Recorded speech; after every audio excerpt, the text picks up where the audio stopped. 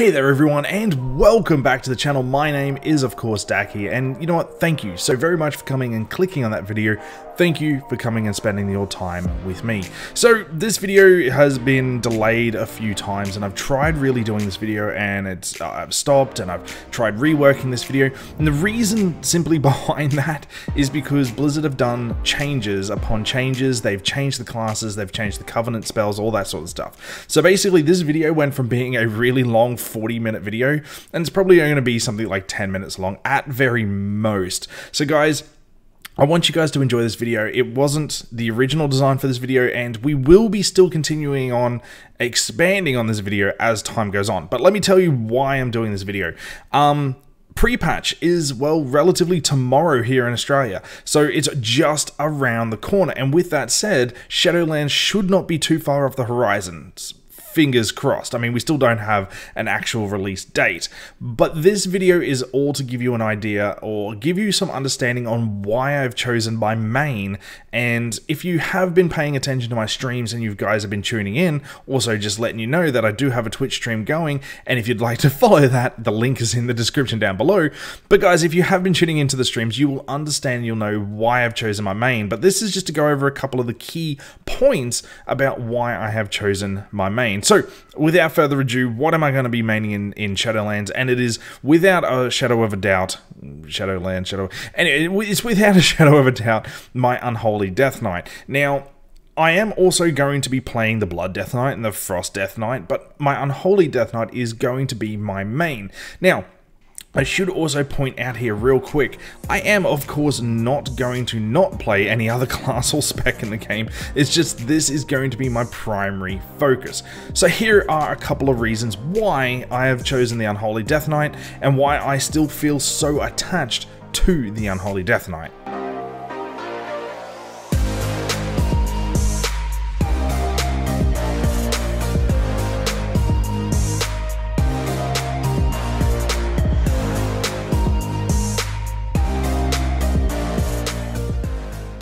Okay, so basically with the changes coming to Shadowlands for all Death Knights, obviously we all know that Death Knights are getting a couple of core class abilities, basically spread amongst all three specs. And these are things like Death and Decay, these are things like uh, Death Coil, Raise Dead, Chains of Ice, Lichborn, uh, Anti-Magic Zone. There's a whole bunch of them that are coming to the class and the spec.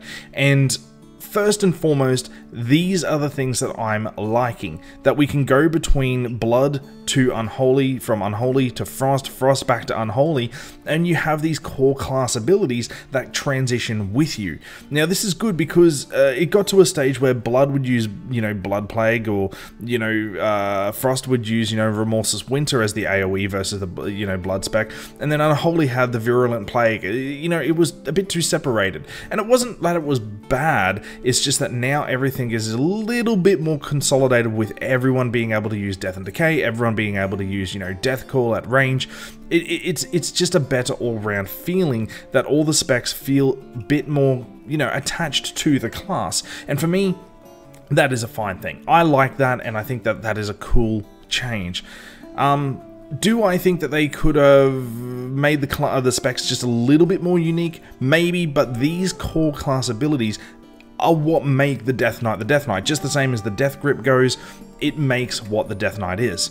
So that's my first sort of reasoning behind choosing the Unholy Death Knight, even though it's an even though it's a class thing, not a spec thing. So with my second pick and the re second reason why I'm choosing the Unholy Death Knight, and again this is more of a class thing, but it does tie into being an Unholy Death Knight, and that is your rune forging thank Blizzard gods for actually bringing back the rune forging. Rune forging was something I felt and always liked with the Death Knights because it was this this it was this unique thing to the Death Knight itself, and I thought that this was fine. But over the expansions, and in particular the last couple of expansions, the rune forging system has, well, gone away, and you were really only left with three rune forges. Um, one pretty much for tanking, one pretty much for dual wield, and one pretty much, well, you know, uh, the other two basically just used for, um, you know, your one-handers. Here's the thing though, it made it almost pointless, basically. Um, and the, and the thing is, is that they may as well have just taken rune forging completely away from us. But I'm glad that they kept it in the game, and I am extremely happy that they are expanding on the rune forging system in Shadowlands. And obviously, we are going to be doing a deep, deep dive into the rune forging system and the core class abilities once the pre-patch launches. But for now, all you need to understand is that we are getting, uh, I think, five new rune, forges, as well as still the uh, existing ones. So we're going to come out with a lot more versatility. We're going to come out with a lot more choice, especially if we are doing, say, PvP or versus uh, versus arena work versus you know um, you know raid content. There's going to be a lot of choice here. Now, is there going to be a best min max uh, rune forge for your weaponry probably and it's probably going to boil down to you just sticking one rune forge onto the actual weapon and just using that for the rest of the raid tier it's going to be pretty much like that but all in all, I am actually really happy that they're bringing back rune forging because it is something that is very unique to the Death Knights, and I think that I'm well. I'm, I'm thankful that they have not completely taken it away in part of the past expansions, and I'm just really happy that they're bringing it back. So again, we're going to go into a deeper dive later, but at this stage, I'm just really happy that the rune forging come back, and that is another reason why I'm choosing the Death Knight.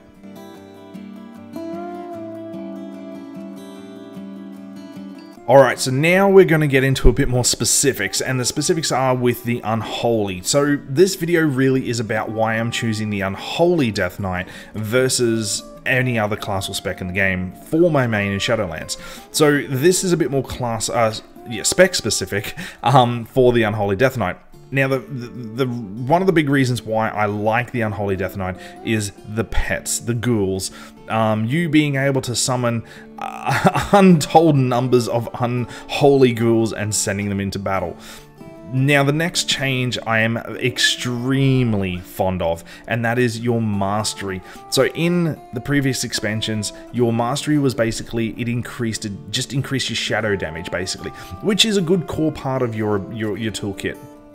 However, your mastery now not only still increases the damage done by your shadow uh, abilities, it now increases your pet damage, your minions damage.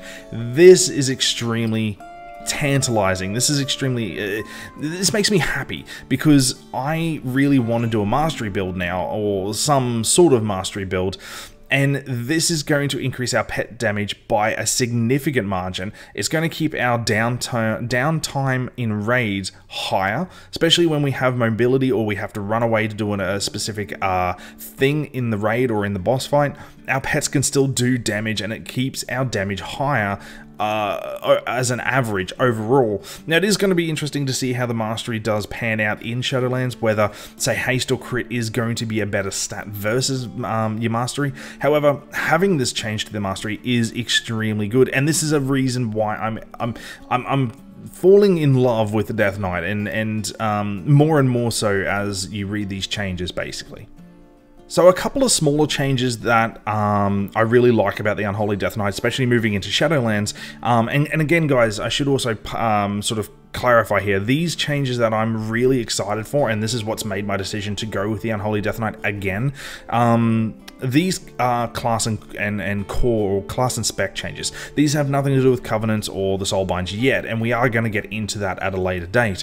But the next change that I'm extremely excited about is your Army of the Dead now only costs one rune instead of three runes. I think this is a fine change. I mean, it never really needed to have three runes, and in my personal opinion, Army of the Dead really should be changed from a 10 minute cooldown or an 8 minute cooldown, whatever it is now, down to like a 3 or a 5 minute cooldown.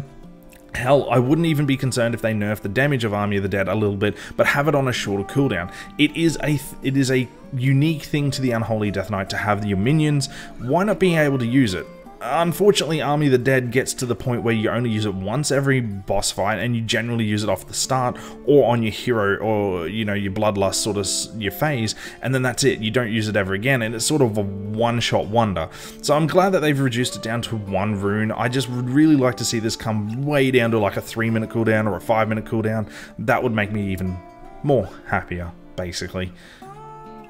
So a couple of the other last changes that have really made my uh, me looking into my main uh, a little bit easier for me is basically things like your um, uh, Unholy Frenzy has been changed now. It's been a bit of a rework. So Unholy Frenzy, basically you pop that, you get your haste uh, increase, and then every time you auto attack, you have a chance to apply basically uh, your Festering Wounds to the target. But now you apply all four at once, and you still get your haste buff I think this is cool. You can use it off the bat. You get your um, you get your uh, festering wounds onto the target, and then you can start your rotation from there. It's just the little tweaks that make this uh, a lot better basically. Uh, one of the last changes is Soul Reaper. So Soul Reaper basically has had a rework, and I like this, and I'm going to actually read this out because I do like this change. So basically, Soul Reaper now only costs one rune and has a 6 second cooldown. Striking the enemy for shadow damage has uh, an effect on affix the enemy with Soul Reaper. After 5 seconds, if the target is below 35% health, this effect will explode, dealing shadow damage uh, to the target. And then if an enemy dies while affected, you gain Runic Corruption. So, Soul Reaper to me was more like a PvP talent that they threw into PvE and went, yeah, this is going to be okay. I am extremely happy that Soul Reaper has changed to this um, uh, this rework basically. So Soul Reaper now you can use in your rotation. Um, it can be used as an execute basically. Um, I like the ability. I like this this change to Soul Reaper. It it, it feels it, it's gonna feel good. I haven't played it yet, but by the under, my understanding of it and reading of it, it does seem like it's going to be extremely extremely good for the Unholy Death Knight. So guys and girls, this is a short video. Hope I haven't taken up a lot of your time. This is just to, to, to, basically just glaze over the top of why I've chosen the Unholy Death Knight for Shadowlands as my main. Um, we are going to go into a deeper dive, hopefully, um, I would say in the next couple of days. Uh, the pre-patch is going to come out. We're going to experience, we're going to test, we're going to we're going to see what it's going to fall like. There are so many changes, um, so many small changes that have that are going to make the spec feel really, really, really, really good. And guys, um, don't get me wrong, I am going to go through more class and spec changes uh, as the pre-patch moves on, um, especially now that we can experience the changes and see what's going on. So, so guys, uh, I'm not going to make this one-off video just for the Unholy Death Knight. I will be making some more videos. Now, I will not get to all classes and specs. Um, I'm not going to be able to cover every single one, but I'm going to cover a good majority of the ones I'm going to be playing in the Shadowlands. So guys, that's it. That's it for the video. Just a quick topic basically to touch base with why I'm liking the Unholy Death Knight. Um, I hope you guys liked the video. If you did, throw us a like or even leave a comment or even just turn up for the next video. I really do appreciate your support on this. Remember, I have my Discord, I have my Patreon, and I have my Twitch links in the description. So if you do want to go and visit those, please do so. Ladies and gentlemen, thank you so much for coming and watching. And until next time, everyone, have a great day.